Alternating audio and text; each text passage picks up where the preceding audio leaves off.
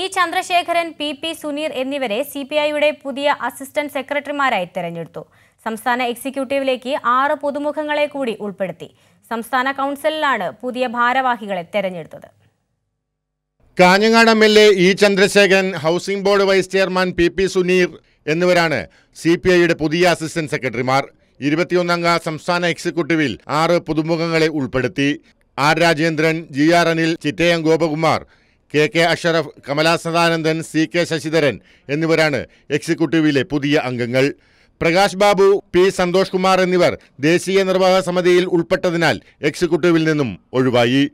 തിരുവനന്തപുരത്ത് ചേർന്ന സംസ്ഥാന കൗൺസിൽ യോഗത്തിലാണ് പുതിയ ഭാരവാഹികളെ തെരഞ്ഞെടുത്തത്. വി എസ് സുനിൽകുമാർ എക്സിക്യൂട്ടീവിലേക്ക് എത്തുമെന്നായിരുന്നു സൂചനയെങ്കിലും സുനിൽകുമാറിനെ പരിഗണിച്ചില്ല.